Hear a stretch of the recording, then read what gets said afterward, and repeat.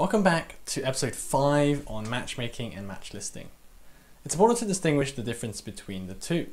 Matchmaking is the process of finding online players that are also searching for players to play with. This is useful for when you want to find an opponent for a game, to connect a player with a team, or to connect a player with similar ranked players. It's very important to note, however, this does not search for a match for the player.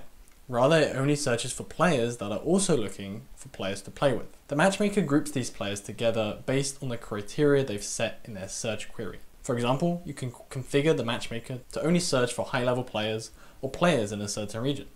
This can be hard coded in your game, or you can let the players choose themselves. Let's take a look at Halo as a real world example. On the right, you can see that the player is searching for players to play with. Once Halo's matchmaker finds other players that are also searching to play, it will put everyone together in a pool.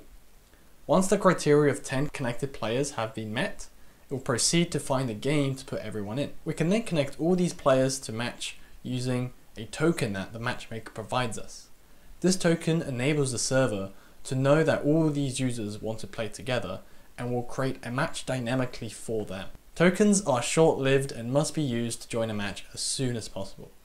The match token is also used to prevent unwanted users from attempting to join a match that they're not meant to join. The matchmaker cannot be used for hot join patterns where players jump into existing matches. It only works to find players and start fresh matches with those new players. It's also worth noting that a player can also be in more than one matchmaking pool at the same time. For example, to search uh, multiple game modes or to search games that have different rules. Match listing, on the other hand, is just to list ongoing authoritative matches. You can filter matches using the label field to fine tune your search results. An example we can use is Arma 3's server browser. This is useful if you'd like your game to have a more granular server search system. The Nakama uses Bleve search for its search query. With this, you can create powerful filters to find exactly the game server a player is looking for. You can find opponents or matches based on these property filters giving either exact matches or ranges of values. This example searches for opponents that must be in Europe, but can be between the ranks of 5 and 10. Let's take a closer look at our tic-tac-toe game.